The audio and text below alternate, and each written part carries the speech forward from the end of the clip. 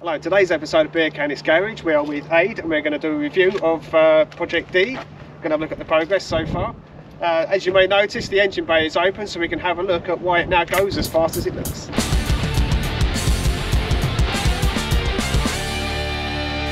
Okay then, Ade, so um, what's actually uh, different? Well- we had a look. We got a big engine cover and hydro dipped it with an ST engine, so it just looks like it's quick. Brilliant. it's almost as good as go faster stripes. Yes, back in the day. Yeah. Which was insulating tape if you did it right. Yeah. Um, well, it's ST engine in it now. Block modded, which some people say is really important on them, other people say it doesn't matter. More depends on the, how healthy the engine is and whether you let it warm up and cool it down better. Um, it should be at around about 330 brake horsepower. I've got a couple of little gremlins to sort out, but it'll be there. Engine size is 2.5 litre, the 5 cylinder Volvo engine. Um, we've got Dreamscience Mod X RS map on it, RS uh, Focus RS injectors in it, Focus RS spark plugs in it, 3 inch downpipe, 3 inch sports cat, and a 3 inch Milltek Ultimate centre section on it. Uh, custom made rear exhaust because I want to keep it single exit because I'm not trying well, not trying to build an ST copy. Yeah. Airtec plenum as you can see. Yeah, Um. We've got pro hoses on absolutely everything. All the coolant hoses are pro hoses and the boost hoses are also made by Pro Hose. We've got the Whiz Beach Engineering V3 crossover. I run the V2 on my other ST and that's that's faultless. But with this I want to go a little bit more. So we've got the V3 crossover which relocates the MAF sensor. Um, Pro Ram air filter, Ram air, ECU relocator. Off the top of my head, that's about it, but there's probably more. So uh, that looks impressive. It does look a good bay. Yeah. So have your students had a hand in um, in all of this? Yeah, absolutely everything has been done with students' help.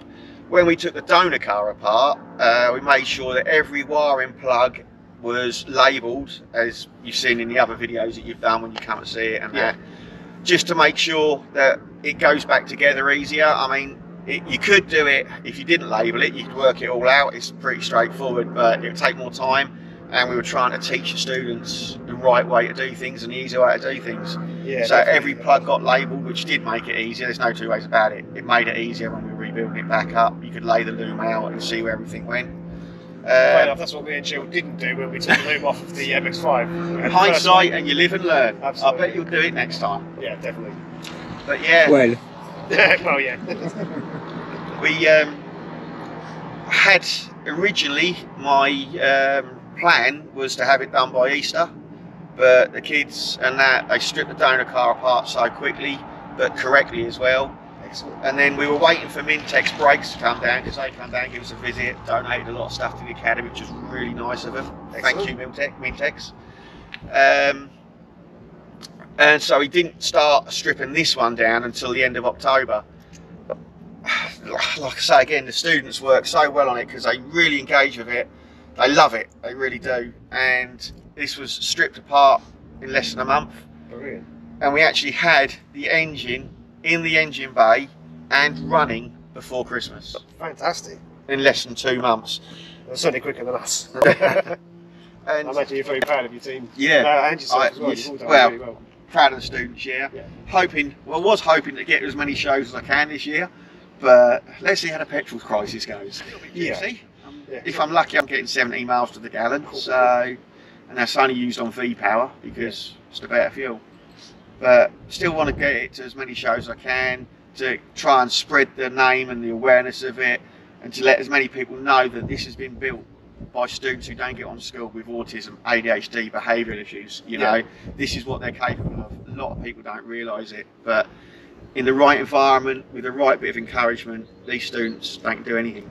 Yeah. Excellent. Yeah, so that's the engine bay. Um, what else is different from the outside? Outside, we got a version 2 front splitter along there. Um, So looks amazing. the last one just about saw the end of uh, show season last year, but it come off in more than one bit, we'll say. But I always wanted to build a slightly bigger one. Didn't Um, anything, I take it. No, no, it's- it off. no, no, no, there's no nothing serious that hit it. It was just uh, just like speed bumps, curbs, you know, Yeah. getting in and out of some shows. You know, you've got bumps to get over and that. So yeah, that's quite low, isn't it? it is fairly low. We have obviously the engine and gearbox. It's a six-speed gearbox now as well. The actual physical weight of that was more than the diesel engine. So we've wound the coilovers up just a touch, just to compensate for that. Um, side skirts were on it at the end of last year, but weren't on it in the first video that we done with you. Um, they've got Jones and Wymark Steelworks on it. That's because Matt Jones of Jones and Wymark donated us so much stuff to help out. Um, the front half of the roll cage, he gave us all the metal for that. So, you know, I can't thank him enough. He really helped us out there. Also gave us the metal for the seat bases. Yeah. Yeah, at the back, uh, we got some bumper lights from Custom Rides. They're, That looks really cool. yeah, they're, they're great actually, especially at night. They're four function LED lights. Uh, I think they're supposed to be like side lights, fog lights, indicators, and reverse lights. But because I've got the central fog light now that also flashes as a rain light, not road legal, but I don't use it for that. Yeah. Um, I've wired up the fog light part of the bumper lights for brake lights. Oh, okay. So at night they look really cool. Also, we've now got DTM tips on the exhaust before they were. Uh, it's three inch, like I say, full three inch system on it now. Yeah. I made the back end of it, the tailpipe myself, with welding, just pie cutting and welding the two. Yeah. Have to have a massive shout out to Ed Parr. He's a good lad, and he knew I wanted a wider rear wing for the spoiler, Yeah. so the bugger went and bought it for us. Oh, really? Excellent. Yeah, so it's it's the widest wing they do now, the actual blade bit. It's only about two inches wider either side, maybe. But when you look at it before, especially I noticed it, and you look at it now, it definitely looks that little bit more wider and that. So big thanks I wasn't Ed. sure, so I didn't want to say. But um, I have to look at some uh, before and after pictures. Yeah, But it looks brilliant. but a big thanks to Ed for that. Another person I need to shout out is James, Monster Ford Storm on Instagram. Um, we were building the front half of the roll cage, and unfortunately, our pipe bender broke. Uh, Oh, right. yeah, we'd done one side perfectly, and then the pipe bender broke. James heard about that, and he bought us a pipe bender. Brilliant. Out of you know, um, I'm just overwhelmed by some of the help that people Yeah. offer and give. You know, just we are. It's, it wouldn't be here without the input of some of the people. Yeah. It's not too much different from before. Same seats, same harnesses. Um, like I said, same centre console because it's got a big cubby hole here where you can literally fit everything in, Yeah. and it's better for all my change for my burger van as well. Brilliant.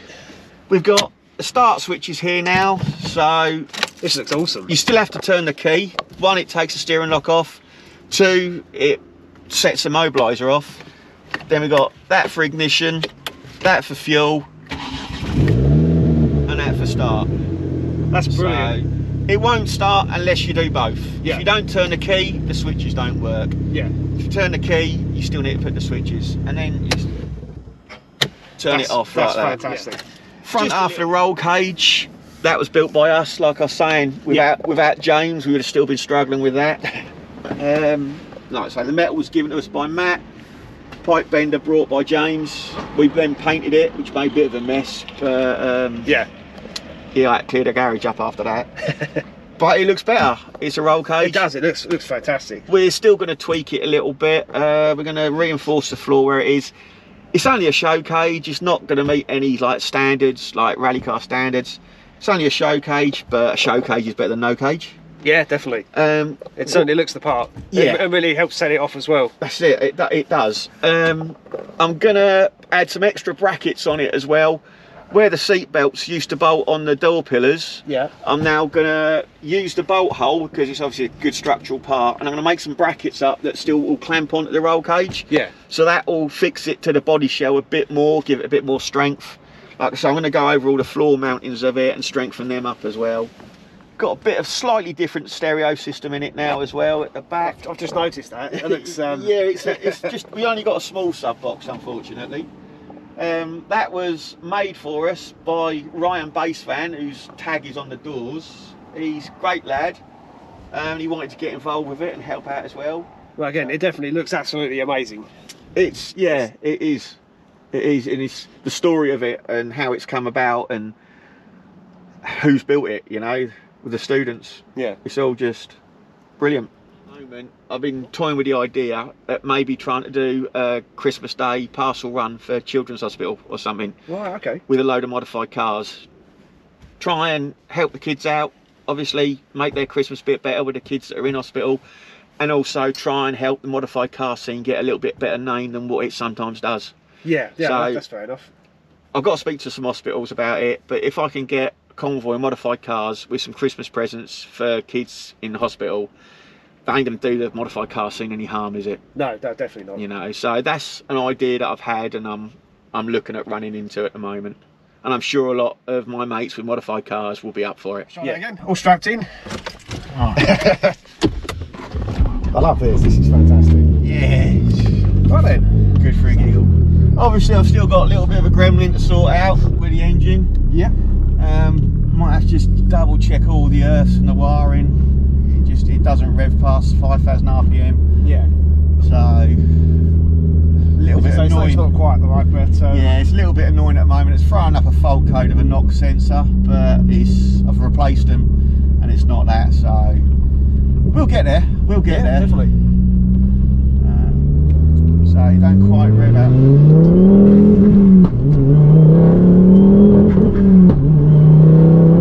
Right, hold the camera still. Uh, so many potholes. oh no, this, this little bit is terrible, isn't it? This little bit of road. But it does. It still shifts though. It goes alright. This private road. Yeah. Yeah. I'm not, not looking at the speedo. Well, that- that's to be fair. It ain't going up that high anyway. You know. It's yeah. Uh, it's all good. You know, it's like I say, the kids love it. They love the noise it makes. So you've, do you've got yeah, you've got waste chat gate chatter. We've got a 50-50 um, recirc valve on it, so half of it dumps back into the um, engine, Yeah. the inlet, and the other half dumps atmospherically. So you do get a bit of a when you're changing gears on boost. Yeah. I say, it's just got to sort this little gremlin out at the moment because it's it's spoiling it. You Yeah. know. So you'll, you'll get it though.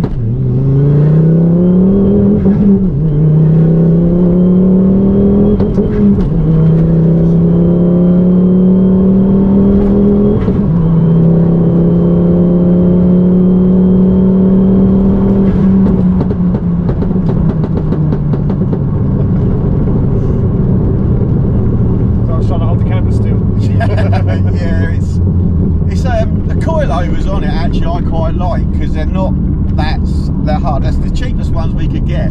Yeah. They're JOM coilovers. Um, obviously I would like to upgrade them as time goes on, but at the moment the ride is quite comfortable, but it's still firm. Yeah, it is. You know.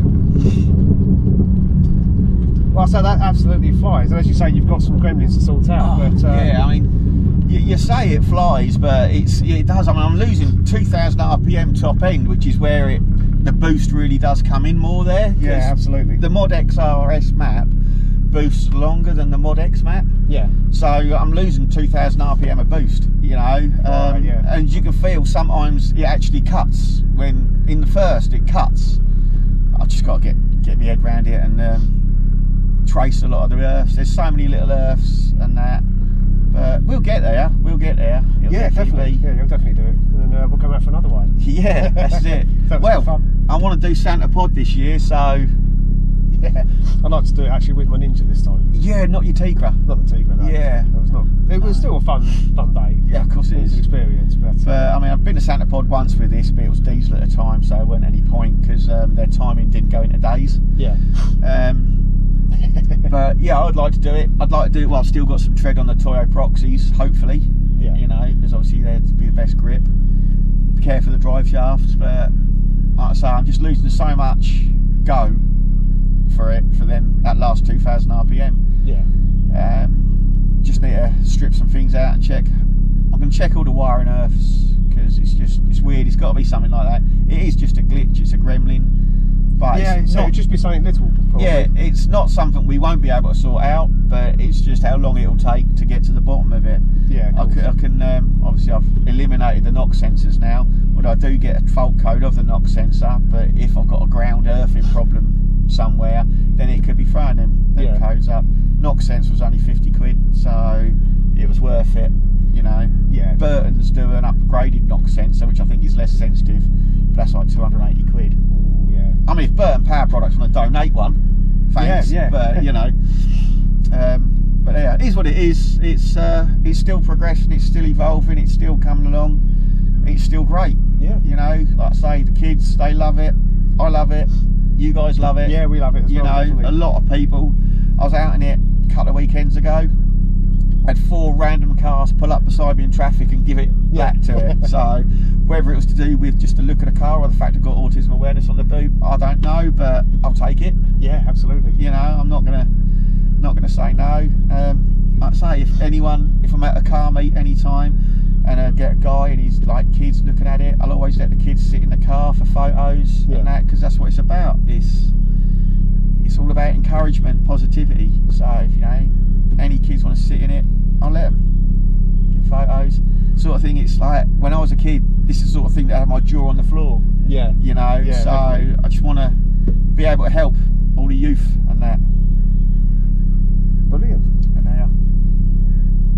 Okay, so um, if you enjoyed that, like and subscribe, and uh, also we'll continue to follow um, Aidan uh, Project D over at uh, Rallysport Engineering Always. Academy. yeah. And uh, yeah, thank you for that. That was really good See fun. you guys soon. See you guys soon, and uh, thank you as well. No Much worries, appreciated. mate. Always good fun. No worries.